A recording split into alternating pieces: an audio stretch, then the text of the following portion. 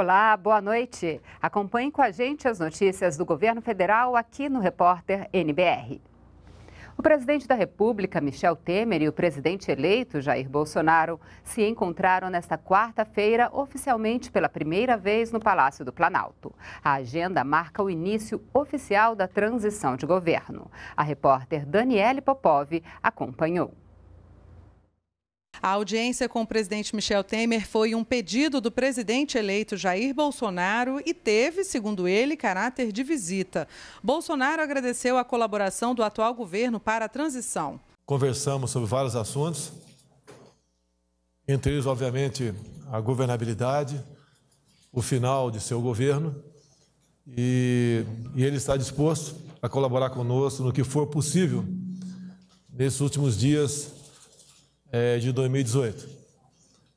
É da minha parte também, como manifestei, manifestei a ele, o procurarei mais vezes até o final do ano, para que juntos é, possamos fazer uma transição de modo que os projetos de interesse do nosso Brasil é, continuem fluindo dentro da normalidade.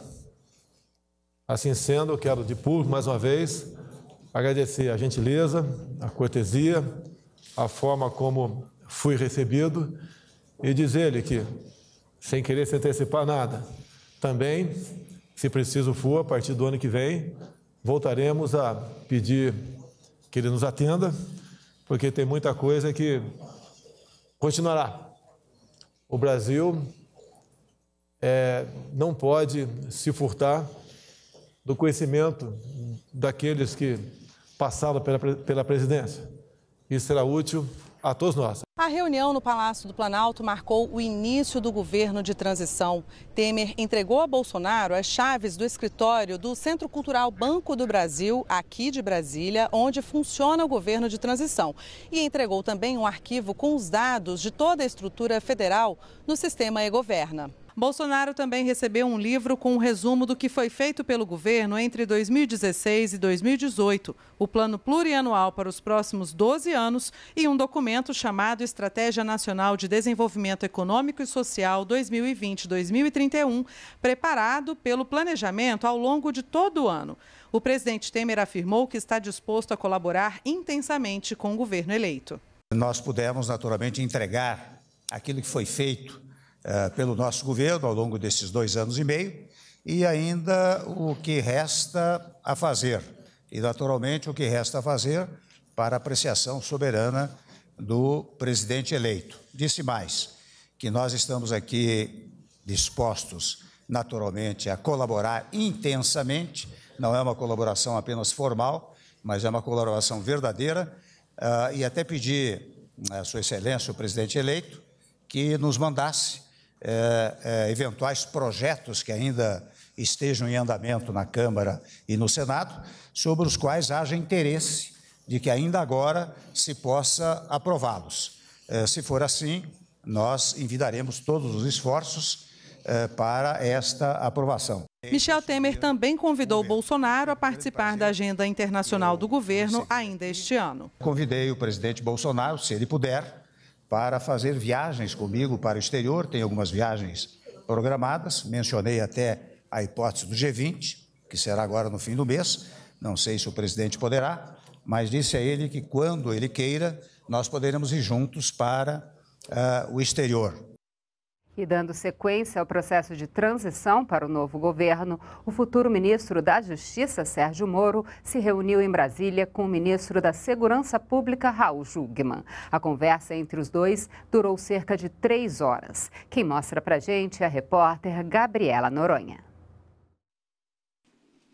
Ministro da Segurança Pública, Raul Jungmann, passou a Sérgio Moro, que comandará a pasta da Justiça e da Segurança no governo Bolsonaro, informações sobre a estrutura da pasta. Também foi apresentado ao futuro ministro dados sobre os programas e a Política Nacional de Segurança Pública. Fizemos uma exposição sobre o Ministério, a criação do Ministério, a criação do Sistema Único de Segurança Pública, a Política Nacional de Segurança Pública e os recursos, sejam do BNDES, sejam também eh, os recursos é, da medida provisória 846, que redistribui recursos das loterias esportivas para a segurança pública. Raul Jungmann colocou o Ministério à disposição da equipe de Sérgio Moro. Para nós, é um motivo, sem sombra de dúvida, é, de, de, de, reconhecimento e também de, é, é, da importância que é ter o juiz Moro, pela sua história, pela sua biografia, pelo seu conhecimento, à frente desse ministério, e também o fato de que é uma transição que se fará de uma maneira extremamente, eu diria assim, respeitosa e também com muita fluidez. Eu já o conheço anteriormente e vice-versa, e isso acho que contribui para que a gente possa fazer uma boa transição em nome dos interesses maiores do povo brasileiro, da segurança e do combate da violência. O juiz Sérgio Moro afirmou estar se preparando para assumir a função, reconheceu a importância das medidas tomadas pelo atual governo na área de segurança pública e falou da importância da transição para a continuidade dos trabalhos no setor. Grande satisfação ter sido recebido pelo ministro Jungmann. Uh, conheço já há algum tempo o ministro Jungmann e mantenho uh, com Vossa Excelência uma relação bastante cordial e isso certamente facilitará, como já vem facilitando, a realização dessa transição. Aqui é como se trocasse um pneu de um carro em movimento, a máquina pública não pode, evidentemente, parar, e cabe a, a mim me preparar para assumir o comando da pasta a partir da próxima gestão. Facilita em muito trabalho é, essa cordialidade, né, essa disponibilidade de informações. Realmente a tarde foi muito produtiva e o contato que nós manteremos mais intensamente a partir de agora. Também participaram da reunião com o ministro Jugman e o juiz Sérgio Moro, representantes da Polícia Federal e da Secretaria Nacional de Segurança Pública, que fizeram apresentações sobre o trabalho nesses setores. E o presidente eleito Jair Bolsonaro anunciou hoje mais um nome para a composição dos ministérios. A deputada federal Tereza Cristina Correia da Costa Dias vai assumir o Ministério da Agricultura. Ela é de Campo Grande, Mato Grosso do Sul, é engenheira agrônoma e compõe a frente parlamentar da agropecuária na Câmara dos Deputados. Nós ficamos por aqui. Você acompanha a nossa programação ao vivo pelo site da NBR. Todas as reportagens estão em nosso canal no YouTube. Acesse também o nosso perfil no Twitter. Você pode mandar suas sugestões de reportagens e dúvidas sobre programas e ações do governo federal para o nosso WhatsApp. Então, anote aí, é 61998678787. Uma boa noite para você e continue com a gente aqui na NBR, a TV do Governo Federal.